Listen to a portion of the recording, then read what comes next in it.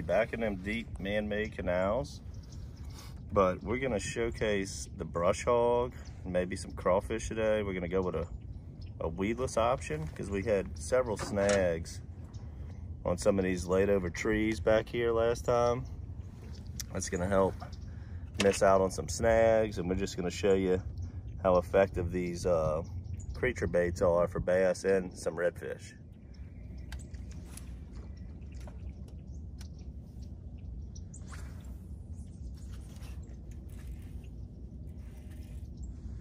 Soon as it hit the water. Yeah, I thought this was over here. So.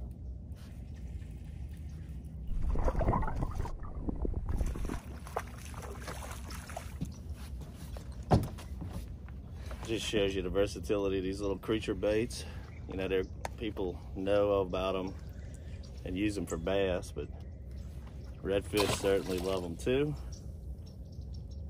It's a thing, big misconception in fishing is a lot of people think freshwater baits are just for freshwater fish and vice versa. Saltwater baits are just for saltwater fish, but baits are made for fish. They don't, nobody should know, should bother whether it's for saltwater or freshwater.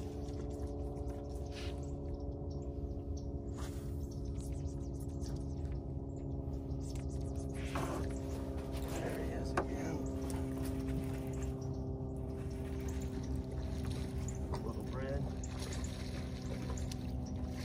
This one might make the team. Yeah, buddy. At he choked that brush hog down.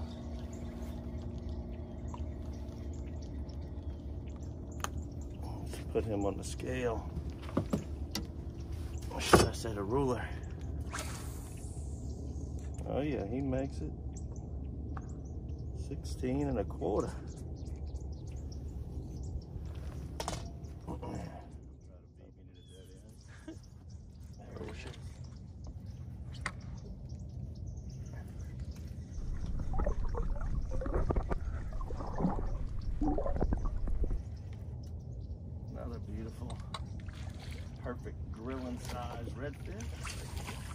Right on the right on the border of keeper to throwback.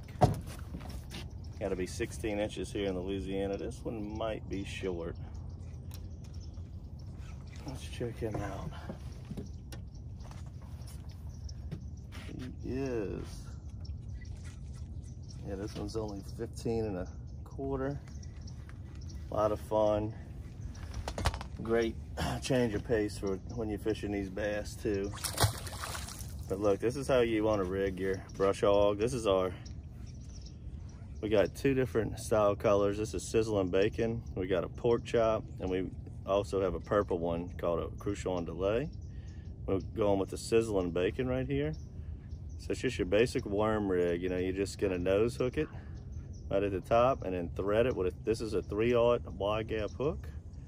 And then you can even hide the, you know, exposed hook there.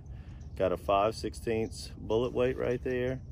And we're pitching it in some of these some of these trees and all that get laid over from hurricanes and stuff like that. And these fish really like it. So if we want to get really tight to those trees, you know, these um, weedless rigs are going to let you live a little bit more dangerously and get up in those tree stumps.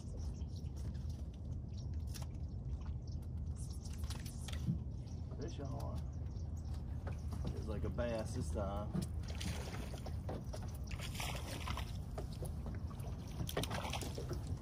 That moved the boat five feet. Went from three reds to a bass. All on the good old brush hog. Now the way you can work these creature baits, you can just lift and kill it because there's so many little finger links and arms coming off of it. Just letting it free fall gives it plenty of action. I like to jig it a little bit, similar to a matrix shad, just some little pops and then let it fall down. It's just really up to you. Same thing as we talked about last uh, episode. So here's a little showcasing you how to rig it. So you just, like I said, you just nose hook it come through, penetrate that hook in an area to where it's gonna be straight. And go ahead and hide that exposed hook. That way you don't hit none of these roots and trees, fallen trees, and it's just gonna, you want it to be as straight as you possibly can.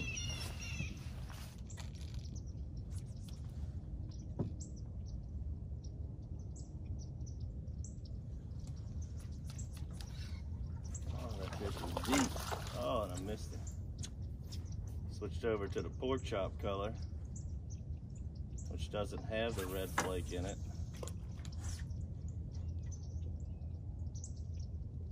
That's just a, it's a prime example of how some of these fish can be right up on the bank and some can be all the way out by the boat. That's why you gotta work it the whole way. Most of the time, they're gonna be in the same water column. You know, they're either gonna be relatively close to the bank or way off. Today we're finding there, it could be either way. So we're throwing up tight, working it all the way back to the boat. That's a red. That's a red. There we go. So it's not gonna make the cut. It's certainly, again, very fun when you stick a red while you're bass fishing.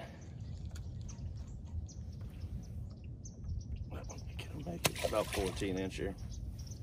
But as you can see, this one, the pork chop, similar to the sizzling bacon, just doesn't have that red flake. More of a more, more dull green look.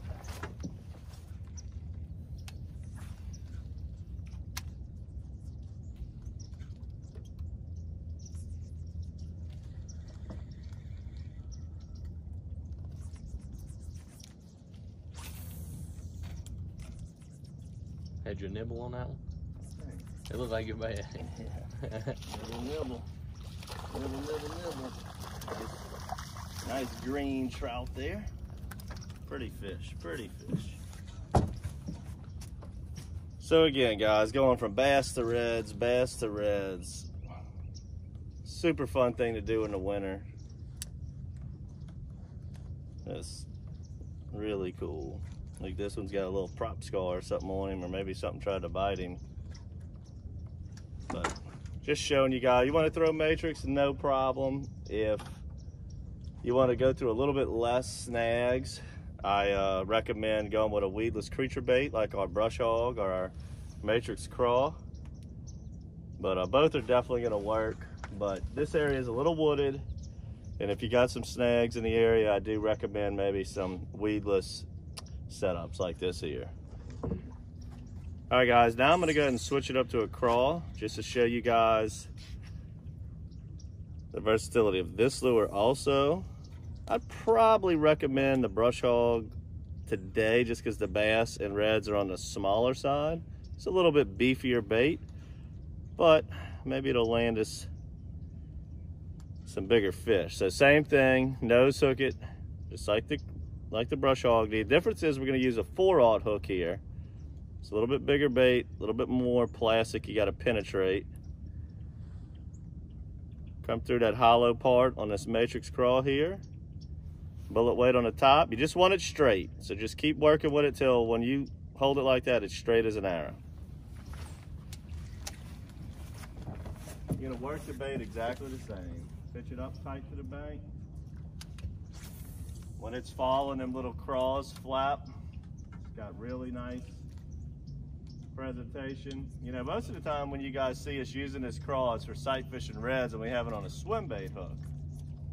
But that's when we're reeling it steady like a spinner bait. If you want it to free fall, you want the the weight of the lure to be up on the head of the uh, the lure. That way, when it free falls, the gravity pulls it straight down, and when it's shooting down, it's going to make them legs flap. If you're using a swim bait hook, it's going to kill from the belly side, which is still an effective presentation. But me personally, bass fishing deep ledges like this, red fishing deep ledges like this, I'd rather the weight up on the top of the lure, having that, having them little legs flap when it's falling down to the bottom.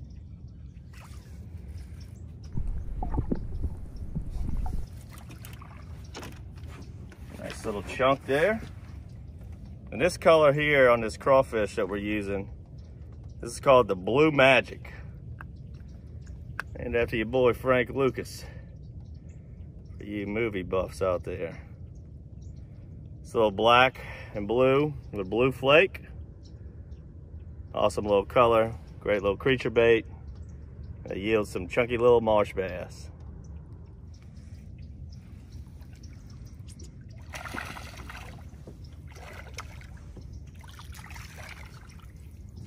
Alrighty guys, so last episode you saw us using regular old matrix shad, catching bass and reds.